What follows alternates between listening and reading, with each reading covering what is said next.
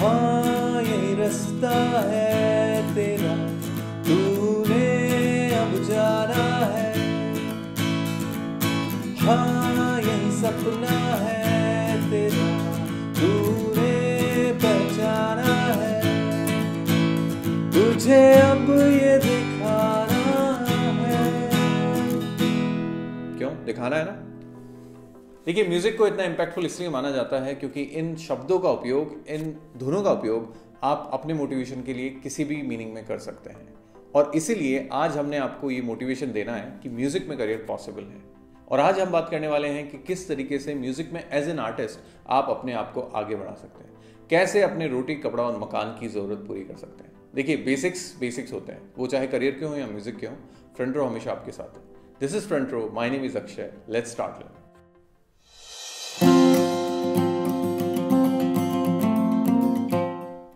देखिए, मैं पूरी कोशिश करूँगा कि इस वीडियो को कम से कम टाइम में निपटा पाऊँ, क्योंकि आजकल हम लोग का पेशेंस जो है वो थोड़ा सा कम हो गया है। As a musician as a music learner you should be a good listener but आजकल इतना टाइम किसी को चलिए, जो भी है, जैसे शुरू भी करते हैं।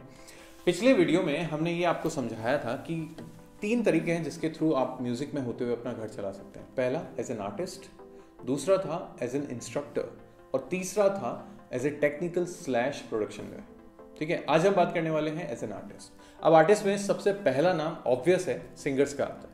कि आप एक सिंगर बहुत अच्छे सिंगर हैं। आप अकेले आर्टिस्ट हैं और आप अपने साथ डिफरेंट म्यूजिशंस के साथ जाते हैं और अपना परफॉर्मेंस करते हैं। आप इतना अच्छा गाते हैं कि हो सकता है आपको दूसरे कंपनी से या फिर लोगों से भी अपने गाने गाने के ऑप्शन मिलते हैं, जैसा कि प्लेबैक सिंगिंग में होता है। ठीक है, लेकिन अब धीरे धीरे बॉलीवुड के अलावा इंडिपेंडेंट सीन भी काफ़ी डेवलप होने लगा है। जैसा कि आप सब लोग जानते हैं कि आजकल सिर्फ़ हिंदी या बॉलीवुड म्यूज़िक तक लिमिटेड नहीं रहा है। पंजाबी म्यूज़िक ने पूरे इंडिया में धूम मचा रखी है। तो हो सकता है आप हिंदी की बजाय इंग्लिश में बहुत अच्छा गाते हो। हो सकता है आप अपनी फोक लैंग्वेज में, मारवाड़ी में, गुजराती में, या फिर और भी उड़िया में, तेलुगु में, हम देखते ही ना even A R Rahman ji भी तमिल में क्या गाने बनाते हैं। तो वो वाली चीज़ है कि language is not a barrier आपको बस अपना वो जो कंफर्ट है वो छोड़ना पड़ेगा और प्रॉपर अपनी स्किल को और तराशना पड़ेगा, जिसके लिए फ्रंट रो हमेशा आपके साथ है।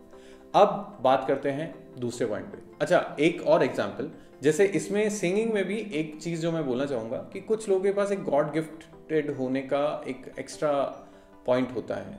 लेकिन हमेशा याद रखिए कि गॉड गिफ्ट भी बेकार हो जाता है अगर आप मेहनती नहीं हैं। ठीक है? और अगर आप उसमें नॉलेज जोड़ लेते हैं मेहनत के साथ तो नो डाउट आपकी कैपेसिटी जो है वो हंड्रेड टाइम्स बढ़ जाती है। इसका बेस्ट एग्ज़ाम्पल है सोनू निगम जी, जिन्होंने अपने गॉड गिफ्ट को बड़ी मेहनत से नॉलेज के साथ यू नो आगे बढ़ाया और आज देखिए मतलब वो अपने आप में एक लेजेंड है। अब बात करते हैं एज एन इंस्ट्रूमेंट प्लेयर अब इंस्ट्रूमेंट प्लेयर में मैं मान सकता हूँ कि या तो आप अपने इंस्ट्रूमेंट में वो स्किल लेवल ले चुके हैं कि आप अकेले स्टेज पे अपना इंस्ट्रूमेंट प्ले करते हैं और लोग आपको बैठ के सुनते हैं।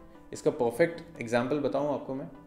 जा, जाकिर हुसैन जी जो तबला बजाते हैं या फिर पंडित रविशंकर जी जो सितार बजाते थे हरिप्रसाद चौरसिया जी जो बांसुरी बजाते थे पंडित सॉरी पंडित नहीं उस्ताद बिस्मिल्ला खां जी जो शहनाई बजाते थे। मतलब कोई सोच सकता है कि सिर्फ़ शहनाई अकेली बजाकर कोई इतना फ़ेमस आर्टिस्ट बन सकता है पर सब पॉसिबल है आपकी मेहनत ज़रूरी है। ठीक है? अब हम लोग आज एक जनरल यू नो पीढ़ी में देखते हैं तो इतना इंडियन इंस्ट्रूमेंट का वो नहीं है, बोलबाला नहीं है। ठीक है? तो गिटार हमारा क्लोजेस्ट फ्रेंड हम लोग कह सकते हैं कि इजीली अवेलेबल हो जाता है लेसन भी मिल जाते हैं। बट अगर आपको प्रॉपरली इस चीज़ में अपना करियर बनाना है तो बेसिक नॉलेज बहुत ज़रूरी है। बेसिक सीखना बहुत ज़रूरी है। रेगुलर जो लर्निंग है, वो बहुत ज़रूरी है। और उसके लिए भी फ्रंट रो के साथ है। ठीक है? तो ये दो मेन कैटेगरीज थी। तीसरी जो कैटेगरी है उसमें मैं दो स्किल्स uh, को रखता हूँ। That is you can be a rapper मतलब उनको मैं सिंगर्स के uh, उसमें कैटेगरी में इसलिए नहीं रखा क्योंकि it's a different kind of skill इसमें अगर आपको लगता है कि आपकी uh, आपकी समझ में वो रिदम है आपके डिलीवरी में आपके बोलने में वो रिदम है कि आप अपने शब्दों से इम्पैक्ट दे सकते हैं तो हो सकता है आप एक अच्छे रैपर भी बन सकते हैं। रफ्तार हम सभी लोग जानते हैं। कि क्या गाते हैं, क्या मतलब गाते हैं, क्या रैप करते हैं, क्या वर्ड्स हैं उनके, क्या मीनिंग है उनके। तो ये चीज़ भी आप अपनी जो है स्किल बढ़ा सकते हैं और इसमें फ्रंट रो ऑफकोर्स आपके साथ है। हम रफ्तार जी का कोर्स आपके साथ शेयर कर रहे हैं। आप देखो उसको, सीखो रैपिंग क्या दिक्कत इसके अलावा आजकल आप लोग बीट बॉक्सिंग के बारे में बहुत सुन रहे होंगे। देखिए वो भी मतलब ये अपनी एक नई स्किल अपने आप में एक नई स्किल है और ऐसे आर्टिस्ट हम लोग अब जानने लग गए हैं जिनके वीडियोस वायरल हो रहे हैं इवन मेन स्ट्रीम टेलीविज़न पे भी हम लोग उनको देखते हैं। तो वो भी अपने आप में एक स्किल है और वो भी आपको एज एन आर्टिस्ट आगे बढ़ा सकती है।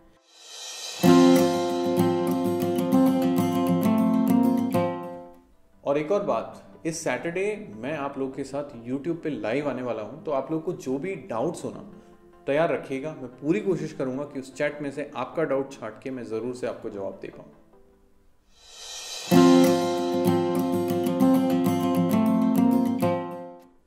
आई रियली होप कि आपको आज का लेसन देखिए, वैसे बजाना कुछ नहीं सिखाया मैंने, लेकिन मैंने शुरू में एक गाना प्ले किया है। अगर आप तमीज से देखते हैं और प्रॉपरली ऑब्ज़र्व करते हैं तो हो सकता है वो वाला गाना आप प्ले कर लें।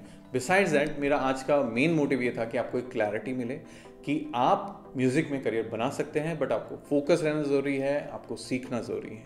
और सीखने में फ्रंट रो ज़रूरी है। हम आपके साथ हमेशा बने हुए हैं, आपका कोई भी डाउट हो नीचे दिए गए नंबरों पर क्लिक करें, अपनी क्वेरीज का समाधान पाएँ। हम पूरी कोशिश करते हैं कि एटलीस्ट आपकी कन्फ्यूज़न तो हम दूर कर पाए। ठीक है? चलिए, तब तक ध्यान रखें अपने आपका don't forget to subscribe the channel like the video and share the video ठीक है? चलिए, मिलते हैं नेक्स्ट टाइम